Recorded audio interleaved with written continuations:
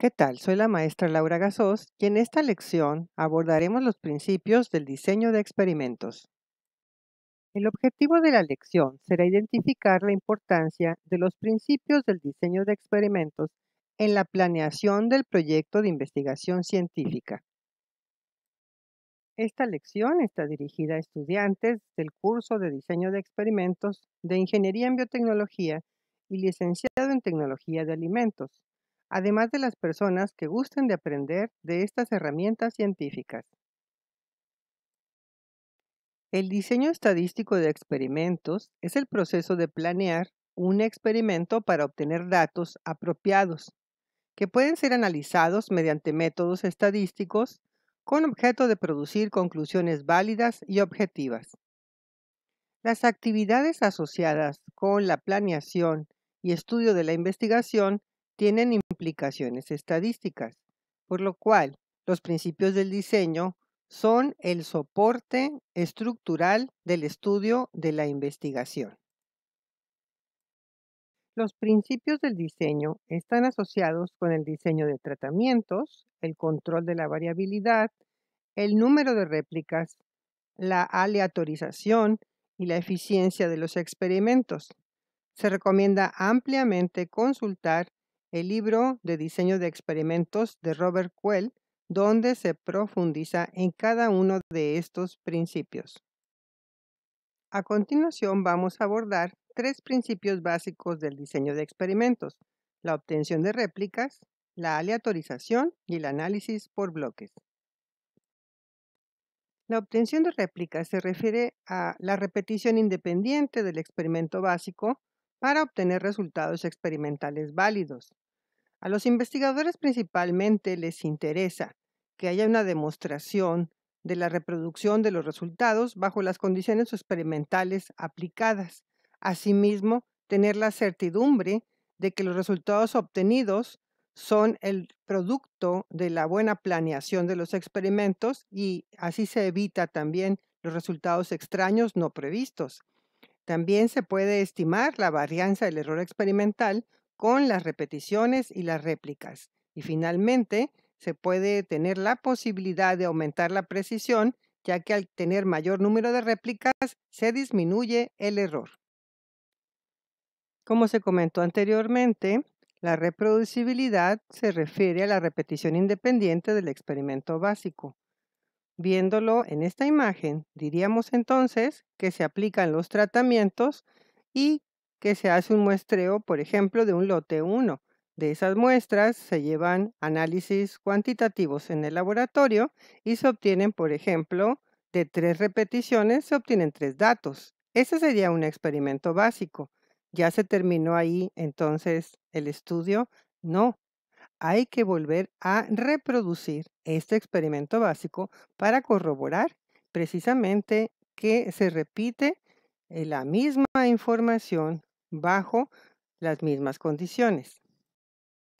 Cuando se reproduce todo el experimento básico, entonces, si la información es reproducible, entonces tenemos mayor certidumbre de que el error que se obtiene es un error natural sin embargo, si ocurre lo opuesto, si no obtienen resultados similares al primer experimento básico, es importante entonces analizar las fuentes de error.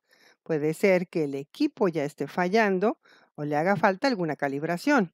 Puede ser que los métodos elegidos no sean los eficientes. O bien, los analistas les hace falta capacitación o concentración, que los muestreos no sean los indicados, o bien otras variables que hay que identificar. Es importante entonces obtener el mayor número de réplicas posibles y tener también el mayor número de repeticiones, dado que entre más datos se tienen, menor es el error que se estima aunque esto a veces por cuestiones financieras no es posible, pero pues hay que llegar a un punto medio en la planeación de la investigación. Otro de los principios del diseño es la aleatorización. Este tiene que ver con el orden en el que se van a llevar a cabo los tratamientos. Este orden no puede ser consecutivo. No puedes llevar a cabo primero el tratamiento 1, posteriormente el tratamiento 2 y así consecutivamente. Los tratamientos se deben de asignar al azar o aleatoriamente. La aleatorización de los experimentos ayuda a cancelar los efectos de factores extraños que pudieran estar presentes e influir en las variables dependientes. El supuesto de independencia de los datos se verifica con la gráfica de los residuos. Existen investigaciones que por sus características requieren de llevar a cabo una elección de muestras por conveniencia. A eso se le llama sesgo. Y es muy importante hacer la aclaración tanto en la planeación de la investigación como en el informe de resultados. Habrá que indicar cómo se llevó a cabo el muestreo y también eh, indicar que los resultados podrían ser solo válidos para este tipo de investigación. Otro de los principios del diseño de experimentos es el análisis por bloques. Vamos a suponer que se va a probar un suplemento vitamínico en deportistas. Antes de aplicar los tratamientos, primero se debe hacer una planeación de esta investigación. En esta planeación se va a considerar que las unidades experimentales deben de ser lo más homogéneas posibles. Por lo tanto, es muy posible que el tipo de deporte que se practica, aunque no está considerado en los objetivos, pudiese tener un efecto sobre la variable de respuesta.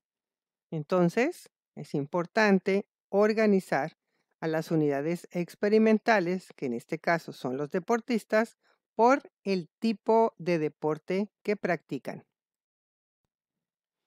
Significa entonces que el análisis por bloques va a ayudar a mantener controlados aquellos factores que también afectan la variable de respuesta. Y una de esas maneras es mantener las unidades experimentales lo más homogéneas posibles al llevar a cabo las agrupaciones, como se ve en la imagen, por bloques.